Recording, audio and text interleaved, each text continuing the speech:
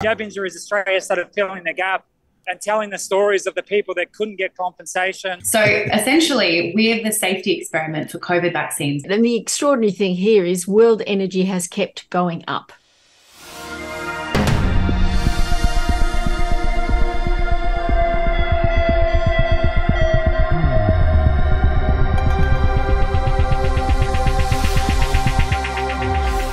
The right to protest is essential, fundamental, and in my view, sacred.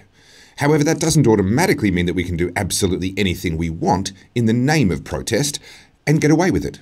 We need to understand what protest is and isn't and apply those definitions consistently to everyone, whether we like what they're protesting about or not.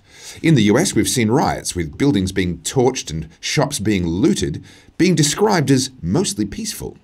A paramilitary takeover of a section of downtown Seattle was described as a protest, while a bunch of unarmed people wandering confused around the Capitol building that the police had let them into was described as an insurrection. Just look at those dangerous selfie sticks. And some of the biggest protests in US history. The Tea Party movement, which famously left their pro protest sites cleaner than they were when they arrived, was described as a fascist rebellion. Clearly, consistency in defining what protest is, is something the dinosaur media and governments don't have. We have similar problems here in Australia. Not only did the media not accurately report numbers during the anti lockdown protests, but they also pretended that peaceful protests against lockdowns were actually violent riots and characterised protesters as dangerous. And fast forwarding to the present, we now have the Just Stop Oil protesters who are deliberately obstructing public and private property and engaging in malicious publicity stunts as part of their protests. It's all a bit of a mess, and it's hard to know where the protesting ends and the basic criminal behaviour begins. In response to these Just Stop Oil obstructions, for example, we're seeing new laws being passed in places like South Australia, creating frankly absurd penalties for obstructing people during uh, protests. And whilst some people support these laws, I'm not so sure. I'd rather see the free market of ideas figure out how to deal with obstructive protesters, rather than top down government control in the form of new penalties and laws, penalties that I know from personal experience will be abused. So it's with some pleasure that I've been watching a wave of pushback against Just Stop Oil. Some of it is pretty freaking hilarious. Uh, yes, there is the usual and expected scenes of protesters being dragged off streets. No, I don't approve of violence. But if you're going to deliberately make people angry, don't be too surprised when they get angry. But recently, some people have been getting quite a lot more clever than these scenes that we're seeing here, and I have to admit that I am enjoying that show. A video that you absolutely must watch is a video from a YouTube account called Josh and Archie. I'll put the description in the, the, the link in the description of the video. Josh and Archie actually agree with Just Stop Oil, with their objectives, but in their own words, they believe that they're going about it the wrong way, something that I think 99% of people would agree on. But what to do about it? Well, I'll show you a few clips from their video because, well, it's just beautiful to watch. It turns out they meet at Pret, where they drink coffee flown in from Peru in single-use cups. We discovered that before ruining everyone's day, the privately educated protesters stand in a circle and teach one another how to breathe. Watched by the police, the group split up across London to cause maximum disruption. They march, get moved off the road by the cops, before marching again and getting moved off pausing for some free organic and again flown in coffee before marching again, getting moved off, heading to a secret HQ for a complimentary lunch, before marching again until the fuzz have had enough and they end up in handcuffs. And so far, this has achieved nothing more than a crackdown on everyone's right to protest. Now we knew how they worked, we needed a way of stopping them. What about rope? We can't use like an object though, because they are able to push through an object They aren't able to push, through people. Basically, they can't. It's not illegal to assault a piece of rope or a peg. It is illegal to assault us, so we're using our bodies. Mm. Our bodies, our choice. Archie decided we needed some merch. This is our new slogan. Just stop pissing everyone off. This is it. We, are ready to go and uh, just stop pissing everyone off. Around, all the way around, guys. Interlock arms sorry. Block, block, block. That's just a few selected clips from their hilarious 10 minute video that's been watched half a million times in a few days. The link is in the description, and I highly recommend that you take the time to watch it. I guarantee it'll put a smile on your face. The video actually doesn't stop with them encircling the Just Stop Oil protesters. They go on to pull off another tactic involving helium balloons and very loud alarms. You'll have to watch their video to see what they did. But I wanted to show you that little clip, that little edited bit of their work, so that you can see how it's done right, how the free market of ideas can solve even these sorts of problems better than governments can. Adding more draconian laws and harsher penalties for protesting is going to backfire, and these laws will someday be abused by petty wannabe tyrants, just like what we've seen in Victoria and Western Australia already. But there's plenty of free market ways of dealing with idiots like Just Stop Oil. There's never very many of them, so things like encircling them with a human chain is, well, honestly, it's genius. And not only does it work, but it really highlights how small and how fringe they are. If Just Stop Oil can be outnumbered instantly by a Just Stop, Just Stop Oil protest, then really, it kind of says everything, doesn't it? For as long as they're blocking streets and getting arrested, they feel like they're achieving something. Those being arrested feel like heroes. It's a perfect example of government not being the right tool to fix the problem. But when they can be stopped by a handful of people standing in the sun for a half day, well, that's just humiliating for them, isn't it? And that's the point. The free market, this time in the form of comedians Josh and Archie, is providing better and far cheaper ways of dealing with Just Stop Oil than the government could ever hope for. I hope this is the start of something really beautiful, with people getting clever about how they deal with idiot protesters who deliberately block streets and infrastructure and I hope it's the end of new laws aimed at cracking down on protest. There is a wrong way to protest and raise awareness of a cause you believe in, but there is also a right way.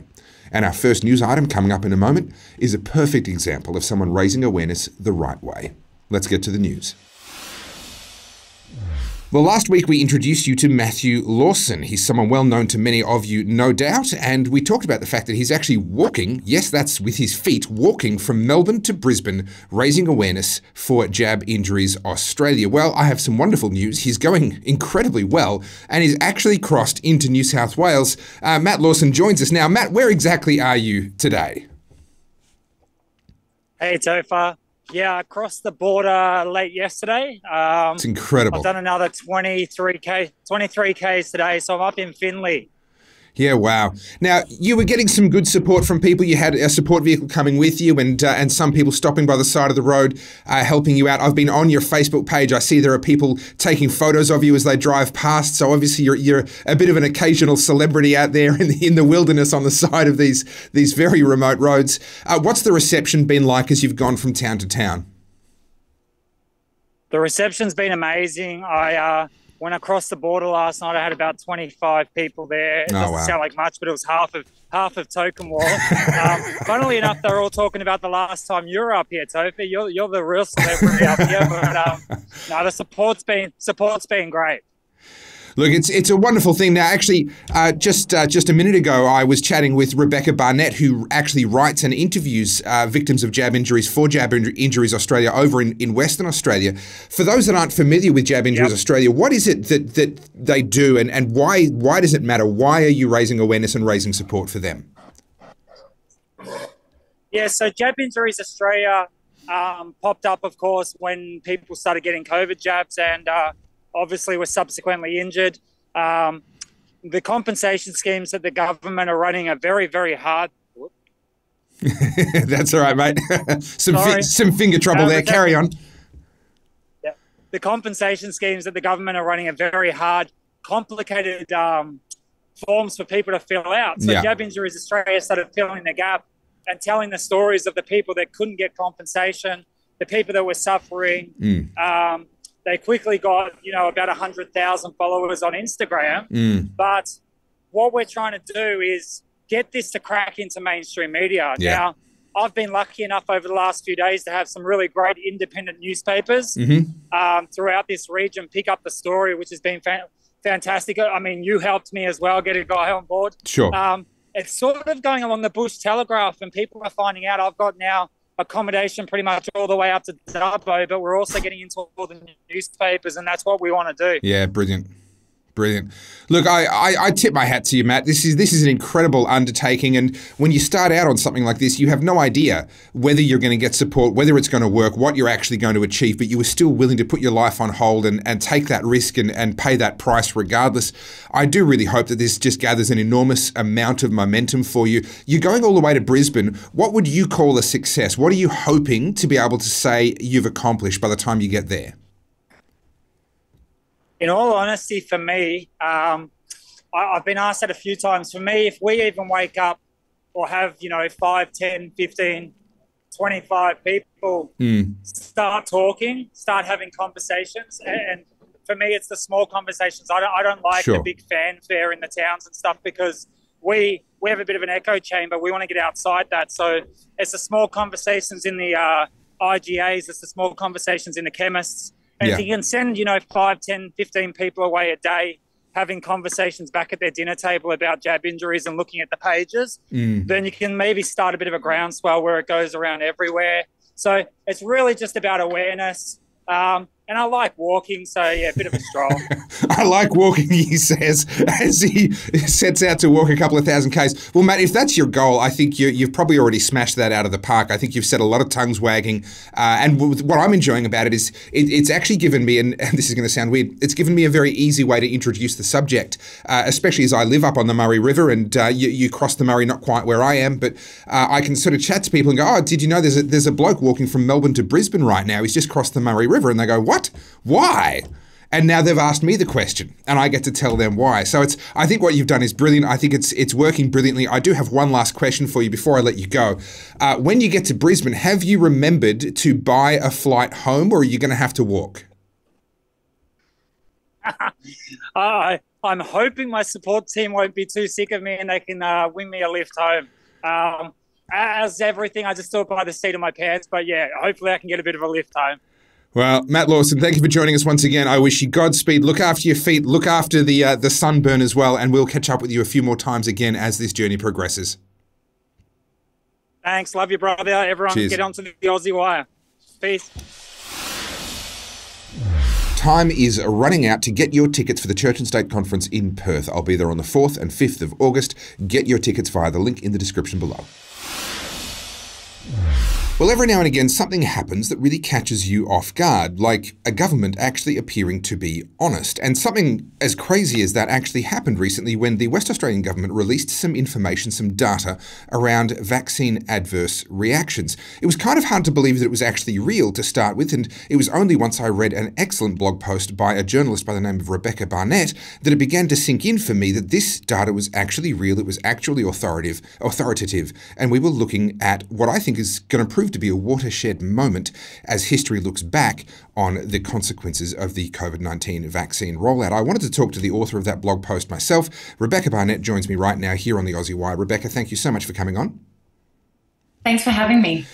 Now, well, uh, firstly, um, congratulations. You are a trained journalist. It shows in your work. You, you've got an outstanding writing style. I've become a subscriber and a bit of a fan of your Substack. We'll put the link to that in the description of this video. But this particular blog post of yours drew attention to something really quite astonishing. Can you, can you, can you brief us what's contained in this, this data from the West Australian government? Sure. So Western Australia is completely unique in the world. Uh, there are very few regions that ha- that were almost completely vaccinated before we had any COVID. Mm. We shut our borders. I mean, Australia shut its borders, but also Western Australia, we're incredibly isolated, and so we were able to actually just hermit off for several years, and we became known as the Hermit Kingdom.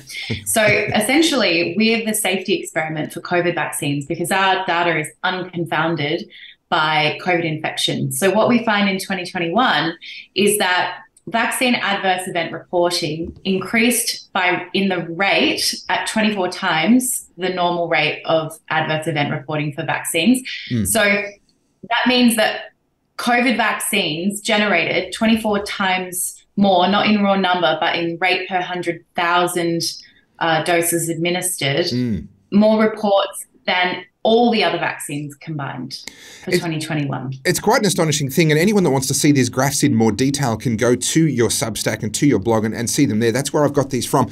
But this is data directly out of a report released by the West Australian Government. There's a couple of things that, that I find really quite astonishing here.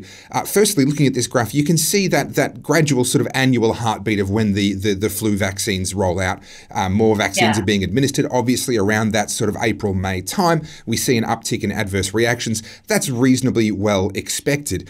Um, can you, just looking at the graph with the naked eye, I'm just trying to pick where does the COVID 19 rollout start? It's not obvious to me. Can you just just help I me to see that? Uh, look, I went back and I checked the data, and it's actually where the big red arrow is. Yeah, yeah, because starting otherwise it was just it was just too subtle. I would have missed it without that big red arrow. um, but you the note that you've got there uh, points out that the the COVID nineteen vaccine rollout started on the twenty second of that month, so almost at the end of that month. We just see a little teeny tiny uptick in that particular Mm-hmm. month. It's within the boundaries that we've seen from prior months with the the, the flu rollouts, the the flu vaccine Yeah. rollouts, and then all of a sudden from the following month, it it, it just goes insane. It it. we hear a lot of people telling us, I'm sorry, I, I just find this even hard to talk about because it just boggles my mind. A lot of people are trying to tell us there's nothing wrong with the COVID 19 vaccines. And, and I'll bring up this other graph here.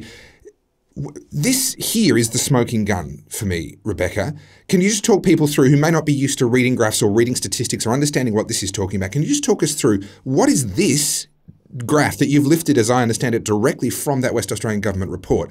What is this telling us?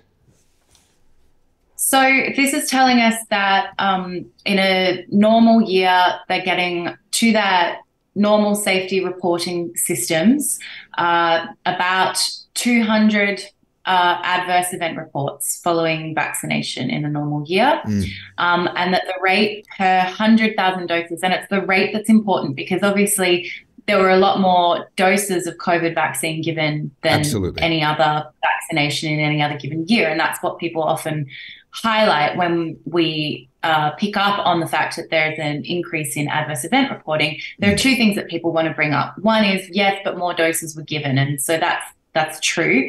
And what this table that you've pulled up is showing is actually the rate of adverse events reported per 100,000 doses. So this this accounts for the increase in number. Mm-hmm. So you can see here just under 10,500 adverse events were reported in that year for COVID 19 vaccines specifically, Yeah. compared to 200 adverse events reported for all the other vaccines combined in mm. Western Australia. Mm. So that's that's point one. Point two is people um, will say yes, but a report isn't. Pro- you know, correlation is not causation. You can't prove that these things were caused by, by the vaccine, and that is correct. Although there's two counters to that. One is that um, we're comparing apples for apples here, so we were comparing reports for reports.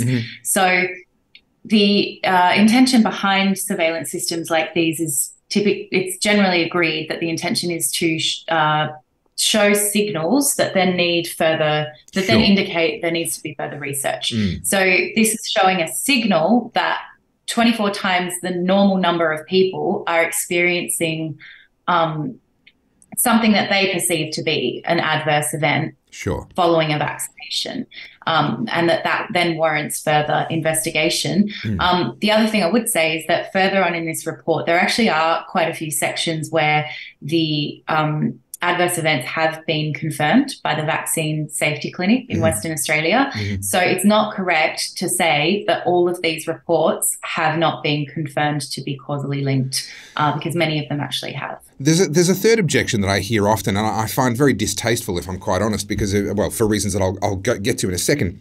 But people say, oh, this is because there was such a big push for people to report adverse reactions. Uh, it's just because, you know, we're, we're reporting the adverse reactions this time, so it looks a lot worse than the other vaccines. But what that is, is a tacit admission that, that the reactions to the other vaccines must be a lot higher. I mean, they have to pick their poison. Either the, the, the, the reactions to the other vaccines are being underreported, um, or this vaccine is creating more adverse reactions. It's it's kind of pick your poison, one or the other. Yeah, it's also an incomplete view. It's true to say that there is some academic literature to suggest that um, an increased publicity around a reporting system may lead to more reports, and the report does uh, reference one of those papers. So, fair fair play. Um, but if I were writing an academic paper on this, I would not get a pass if I did if that was my full literature review. Sure. Because if you were to do a full literature review, you would also have to reference the literature on underreporting, uh, which the I mean the literature finds that anywhere between uh, an underreporting factor of anywhere between 10 to 100 fold. So being very conservative, we might say a 10 fold underreporting factor. Now, how much has the increased publicity around um, adverse events for COVID vaccines offset Mm. the re- underreporting factor? Don't know. I haven't actually seen anyone attempt to answer that question, and they haven't attempted to answer it in this report. Well, as you say, the purpose of collecting and, and having a reporting system is to detect a signal. Uh, but Rebekah, clearly there is no signal to be detected here. I, I don't see any signal at all. Carry on, business as usual.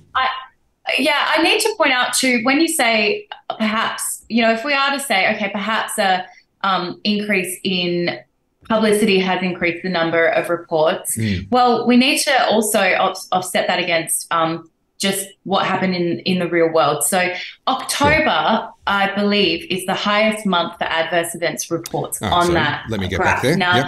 what happened at the end of October in Western Australia was we had a hospital crisis. We Right. um, our premier went on the news. I think it was the thirtieth, thirty first of October, or right at the end of the month, to say uh, our hospitals are in trouble. We um, we are just overwhelmed. Mm. And he said uh, in that press conference, we think it might be a delayed reaction to COVID. Now.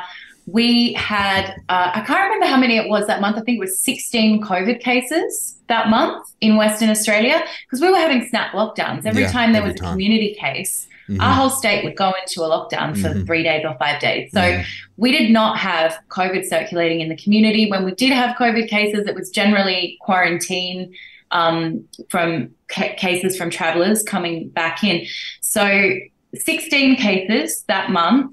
Um, and we had a hospital crisis. But what we did have was hundreds and hundreds of over a thousand uh, adverse event reports for October, and 57% of the adverse events reported in this document uh, fronted at hospital. They were either treated in ED or they were admitted to hospital. Mm. So we know that over half of the adverse events reported, you know, most likely, uh, well, we know that 57% of the people who who reported adverse events had to go to hospital. Yeah, wow. Wow. I mean, well, and that puts a light of the claim that other people make that, oh, but most of these reports, most of these adverse reactions, it's very minor. Well, obviously, many of them are fully recovered from, but if from the report 57% are actually going to hospital, then we know that a lot of those minor reactions are just simply not being captured in the data. They're just not bothering to lodge a report for, for minor reactions. This is is really capturing the, the, the reactions that are at the more serious end of the scale, is it not? Yeah, and we need to also remember that yes, there was an increased publicity around um, adverse event reporting, but we also had a very um, hawkish uh, kind of medical censorship going on. So um, I do. I'm an interviewer for a group called Jab Injuries Australia, Mm. and in the interviews that I do with people who have documented um, vaccine injuries, uh, most people report that their doctors strongly denied any potential for there to be uh, the for the vaccine to be causally linked. Yeah. Um, there was a very strong in- Western Australia. You were a pariah if you weren't vaccinated, and even people who were vaccinated and were injured were Mhm. being labelled anti-vax, and Mhm. anti-vax was like the worst possible thing you could be called at that time. Yeah. So, um, you know, again, we need to offset any uh, uptick in reporting due to public- publicity with the um, very strong pressure to not report or not be seen as suggesting Yeah. that your ailments might be linked to the vaccine. And the Yeah. doctors, um, that there were many reports uh, through my interviews uh, of, of doctors being very unwilling to make those reports on behalf of patients. That sadly is not uh, not unique to Western Australia, but certainly the overall circumstances of Western Australia were very unique.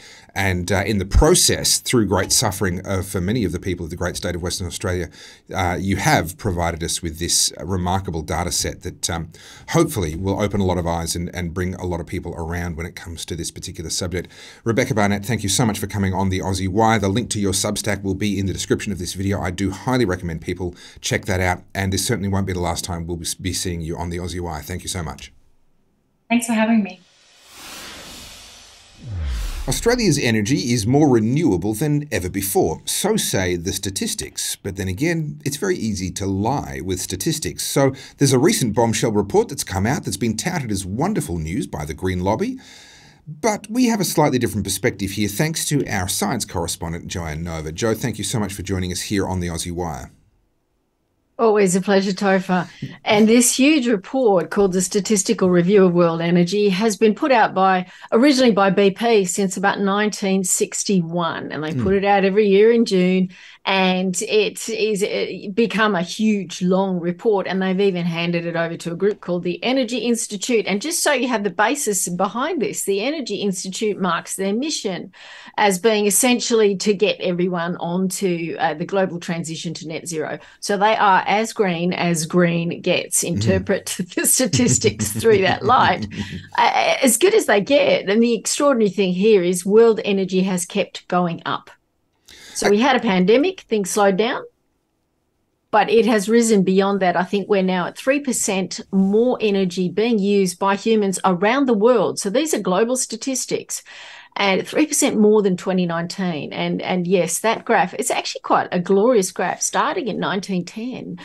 So we're looking at 110 years there of human development, mm. and what a miracle story it is. And it's all a fossil fuel revolution. You look at the enormous growth mm. in coal, oil, and gas, mm. and what it's done for the world. And just think about w- the way our lives have changed since 1910. Goodness. And the, you know the fact that everyone's now got well, everyone in our in rich countries has plug-in, turn on at the wall electricity, heating, cooling. Mm all that kind of thing. And then you look at the entire renewables transition, which I colored and combined in black at the top there mm-hmm. so it was visible. Mm-hmm. And that is all the solar, the wind, the geothermal, the tidal, the biofuel, all of it packed lot. together. And that's what we're looking at.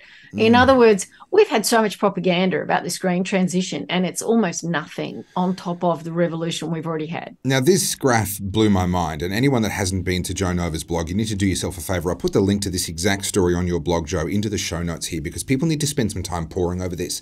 Number one, the correlation between energy consumption and quality of life is undeniable. I don't know anyone that really wants to debate that point.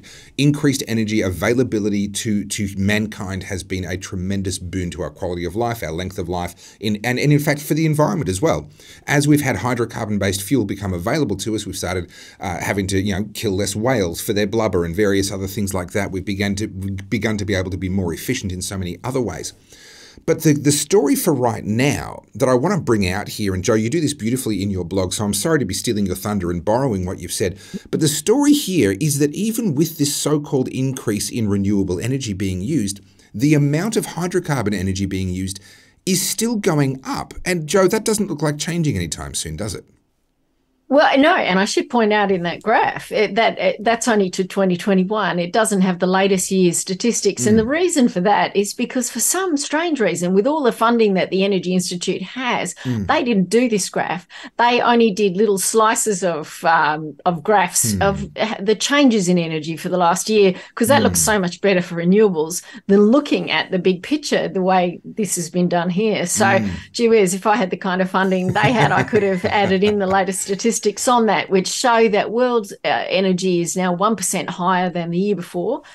And uh, so across the entire world, that's a fair bit more energy being used up. Mm, mm. And with that growth in energy being used, the scary thing is renewables, as they say. Remember, this is coming from a green group. Mm. The renewables, excluding hydro, met 84% of net energy demand growth in 2022. Yeah. And I emphasize that because they are admitting mm. that the renewables themselves were not even covering 100% of the increase mm. in energy the world used in 2022. So renewables were not even keeping up with the demand. So when we talk about net zero, it got a little bit further away last year than it was the year before. And to put this bizarre thing in perspective, the numbers we're talking about were enormous in solar. Mm. They estimate the amount of solar capacity grew 25% last year. I, I, these are monster mm. growths in a mm. single year 25% more solar PV and 13% more wind. We are installing these damn things as fast as we can, and it isn't even keeping up with energy demand around the world. That's the bombshell that blew my mind. And when you when you start to combine this with other stories that we've talked about here and other things that we haven't, the the revelation that these Siemens Gamesa massive wind turbines have a larger number of issues than what we were aware of, what even Siemens were aware of. Issues now where we're seeing increasing numbers of solar farms. Of course, as they proliferate around the world, they start to get hit by more storms and hailstorms and things like this. We're beginning to understand the weaknesses in this technology, the vulnerabilities in this technology, and it can no longer be glossed over with a, a shiny, glossy brochure. Is there going to be a moment where the world realizes that they've been conned. I remember talking to you, Jo, years and years ago. I believe it was 2013, mm. I think the first time we worked together. And we were both saying back then, within five years, the, the, the, the shades will fall off people's eyes and they'll realize and, and we'll be able to move on and leave this whole bit of nonsense behind us. Well, here we are 10 years later, and unfortunately, it just hasn't happened yet it, it, it is starting to. I think what we're seeing in Europe, we're seeing because of the Ukraine Russia war, mm. the the I remember when that broke out, people were saying, "Oh, this will be the big thing for renewables because mm. coal and oil have got so expensive." Mm. Well, despite that expense, the opposite happened, mm. and we've got quite a few countries in Europe that are voting for more right wing governments, and those right wing governments are talking about more nuclear. Poland's installing nuclear. Sweden, mm. as we talked about, is installing mm. nuclear. Italy has said they want more nuclear. Mm. So, uh, and France is still fighting for its nuclear. And when I say fighting for it, it, it has to convince the EU that nuclear is a low carbon, you know, equivalent to renewable. and it's you such a joke that it has to do that. it defies all forms of chemistry and physics uh. to say that but uh, you know what we are seeing things the, the energy costs have bitten and even mm. germany with a semi-green traffic light government is mm-hmm. really struggling mm-hmm. because the people are going wait wait wait wait wait this is just madness yeah. and they're talking about you know putting heat pumps in reverse cycle heating run by electricity and mm. telling everyone to get EVs, mm. which will need what? You know, mm. electricity. Amazing. And they're struggling to provide the electricity. And you kind of go, these these things are not going to meet up here in the middle in a happy way, guys. Yeah. And and so I think they are waking up to that in Europe and only through brutal, tough lessons and very cold winters. Mm. Well, thankfully, we're not subject to the same level of cold in our winters, but we do certainly get heat in summer. We're seeing increased unreliability across Australia, you know, even winter brownouts happening up in Queensland at, at, at the wrong times of year, and uh, unreliability happening across the grid, not to mention incredible increases in energy costs. The current federal government was elected on a promise that they were going to bring down uh, energy prices. We've seen the exact opposite happen. How how much further do you think this can go in Australia before we see Australians begin to get a bit of European spine and start to put push back against this?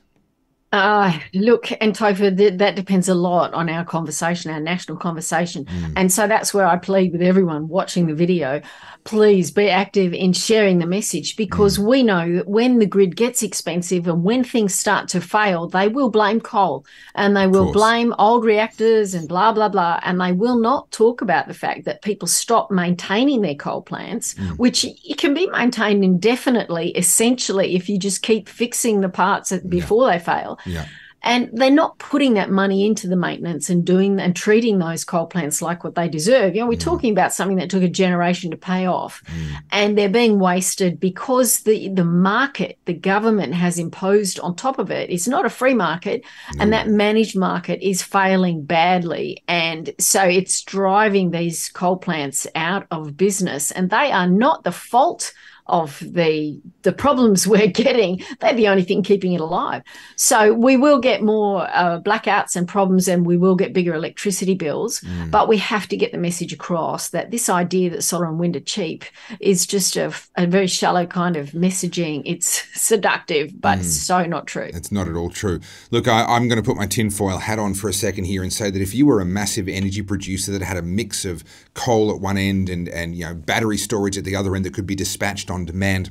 Uh, with the current market, as you say, correctly pointing out, it's not a free market at all. With the current bid stack and the way that that's designed, I would be very tempted to have some uh, reliability issues with my coal at strategically timed moments so as to jack up the price of electricity and be able to profit much more greatly off all of my other sources of energy. One of the things people don't realize is that all energy providers are paid at the most expensive level for that particular moment in time. People don't understand this. They think, well, coal gets paid a certain amount, and nuclear gets paid a certain amount, and wind get paid, gets paid a certain. No, they all get paid the same. That that amount changes, but in any given moment, they're paid the same based on the most expensive bid that is accepted. And strategically, just putting my tinfoil hat on, I'm not making any accusations, of course. But there might be a case for maximizing shareholder value, for example, by, oh, oops, unfortunately having an unreliable coal plant at a strategic moment to increase prices across the rest of my portfolio. Is that um, is that a well, tinfoil yeah, hat moment that you share? In theory, Topher, mm. uh, you could hypothetically say that those companies would be letting down their shareholders if they did not explore all the options for maximising profits. Mm-hmm. And those options for maximising profits include closing down coal stations, uh, mm-hmm. uh, perhaps even sooner than might make sense in order to make the other parts of your entire portfolio more profitable. Mm. So, uh, you know, and now the government has set up a whole raft of agencies supposedly to stop you know companies doing this sort of thing mm. but in the old days we used to rely on the free market to do that you know the incentive being that if you had more expensive electricity customers would just go somewhere else mm-hmm. so i say what we need in australia more than anything is a return to a free market less government intervention less government agencies because the agencies can't stop that kind of behavior mm-hmm. when it is ultimately in the company's interest to reduce those cheap providers out of the yeah. system. Yeah. And to be clear, this is this is purely hypothetical and only made mm. possible because of this so-called market, the Australian energy market operators so-called market that they operate with the bid stack. We're going to go into some really technical stuff on that in future episodes of the Aussie Wire News. But you know what, Jo, I think that's all we've got time for for this particular story on this particular day. Thank you so much once again for coming on the Aussie Wire. Thank you. That is it for the Aussie Wire today. If you'd like to support the Aussie Wire, you can do so by becoming an insider. The link is in this video's description. Insiders get giveaways. We're actually giving away a Good People Break Bad Laws hoodie today. It's too late for you to get into that draw, but all our insiders are automatically included in all our giveaways. So make sure to become an insider today so that you don't miss out on our giveaways and discounts and exclusive content in the future. We release new episodes of the Aussie Wire News Tuesdays and Thursdays at 4pm. You can catch up on past episodes and read our blog at theaussiewire.com. Follow all our socials at the Aussie Wire and make sure you've signed up to our email list so that we can keep in touch if we get cancelled. That's all for today. I'm Topher Field, and this is the Aussie Wire.